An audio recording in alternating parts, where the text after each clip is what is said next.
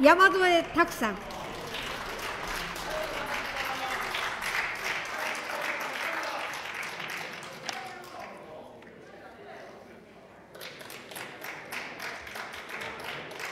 日本共産党を代表し、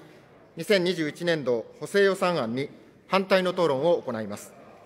コロナ禍が暮らしとなりわいに広く深刻な影響を及ぼす中、オミクロン株の国内での感染確認が相次ぎ、第6波の懸念が現実となりかねない事態です。ところが本案は、緊急に求められる個人や事業者への給付金が不十分で、困っている人に届かない一方、大軍拡と特定の企業への支援には大盤振る舞いの歪んだ内容です。財政法上、補正予算による支出は、特に緊要となった経費に限られます。1年にわたり停止中の GoTo トラベル事業に2685億円も追加する緊急性はありません。台湾の半導体メーカーによる工場建設支援の4000億円、スパイ衛星の推進、デジタルインフラ整備事業など、大企業支援が露骨です。マイナンポイント事業への1.8兆円は、最大2万円分の支援に絡めて、個人情報を差し出すというものであり、容認できません。本案には、7738億円もの軍事費が計上され、本予算を合わせた総額は初めて6兆円を超えます。中でも4287億円を占める兵器購入のローン払い、その前倒しには何らの緊急性もありません。自民党が軍事費 GDP 比2%以上への増額を主張する中、来年度予算と一体に、米軍兵器の爆買いと大軍拡で軍事費を膨張させるものです。米軍辺野古新基地建設にかつてない801億円を計上しています。沖縄県玉城知事が政府による設計変更変更申請を不承認とし、軟弱地盤で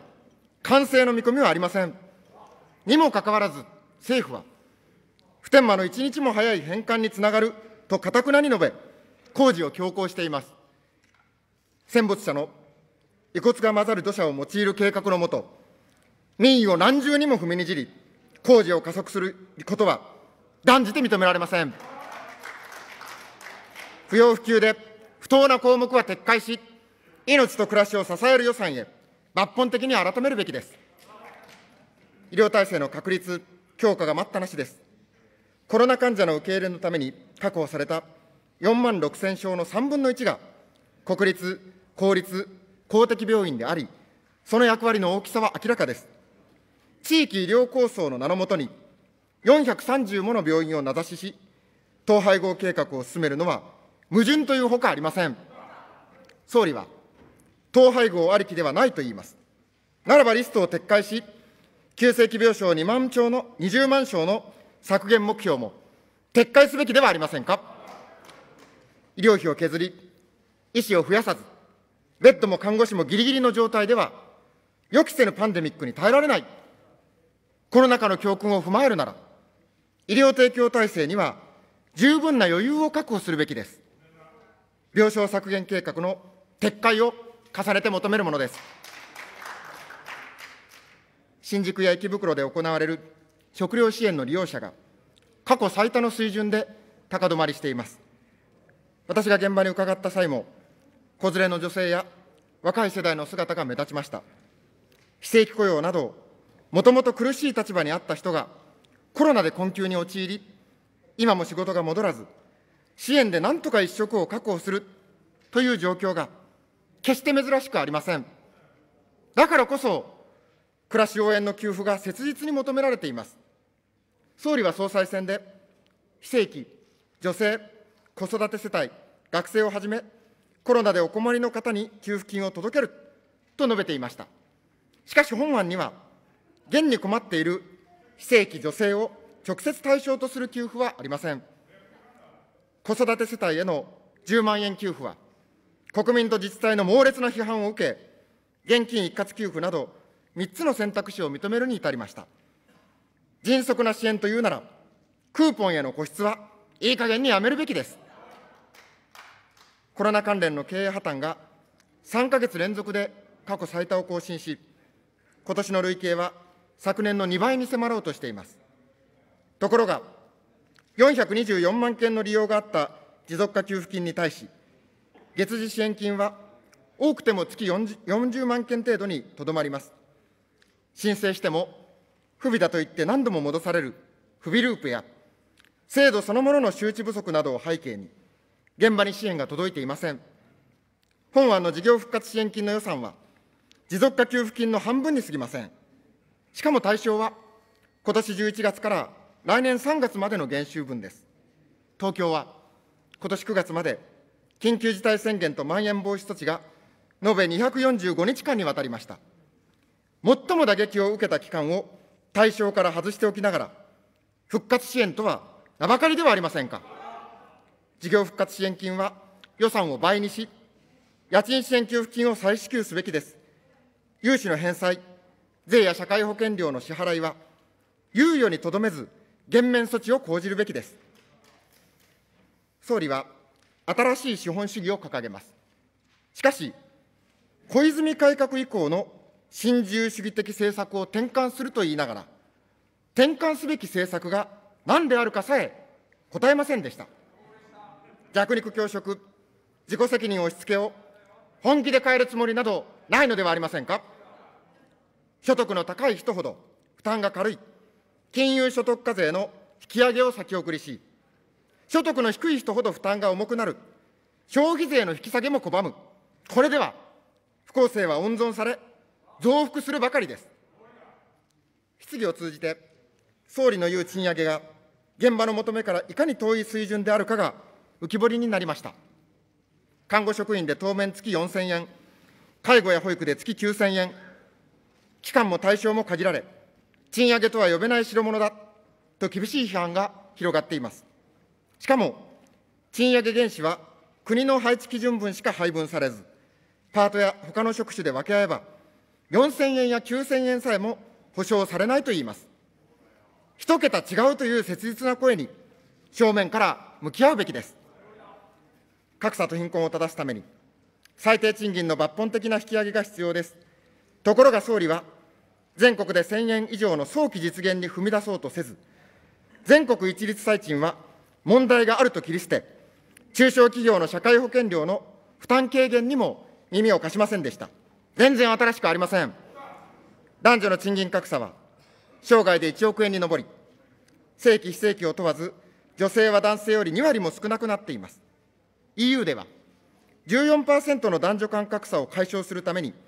賃金透明化の指令案を発表しました。日本でも、格差の把握と公表、是正のための計画策定と実行を求める、実効性ある措置で、賃金格差を解消するべきです。敵基地攻撃能力とはどういうものか。総理は一つの例としながらも、他国の領域でミサイル基地を攻撃し、制空権を確保し、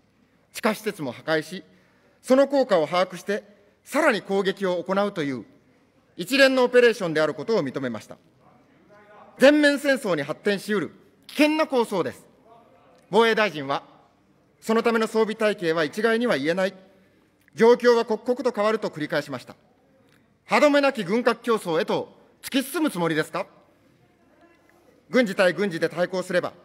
事態はエスカレートするばかりです。国連憲章と国際法に基づく平和的手段による問題解決を貫くべきです。中国や北朝鮮を含む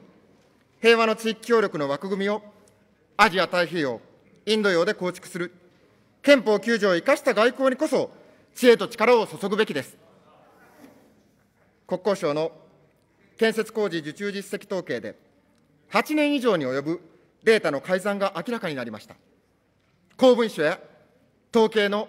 改ざん、隠蔽、虚偽答弁、民主主義を根底から揺るがす事態を重ねる異常な体質が、今も政権に染みついているのではありませんか。森友問題、決裁文書の改ざん強要で、赤木俊夫さんが自死に追い込まれた原因と経緯を明らかにしたい。妻の雅子さんの裁判を、政府は突如、請求認諾で強制終了させました。説明もせず、再調査も拒む。夫は、国にまた殺された、という雅子さんの怒りの声が、総理には聞こえないのですか？暮らしに冷たく、憲法を壊し、民主主義を踏みにじり、腐敗にまみれた政権に黙って従うことはできません。事実と道理に基づき批判し、批判と一体に建設的に提案し、希望を託せる政治へと転換する決意を述べ、反対討論といたします。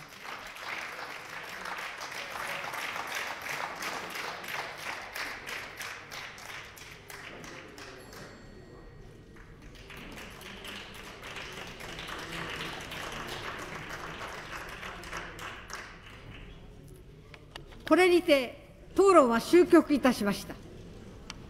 これより両案を一括して採決いたします。両案に賛成の皆さんの起立を求めます。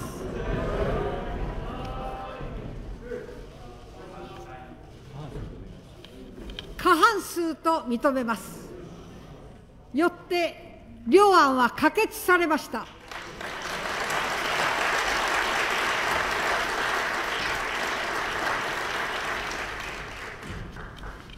この際、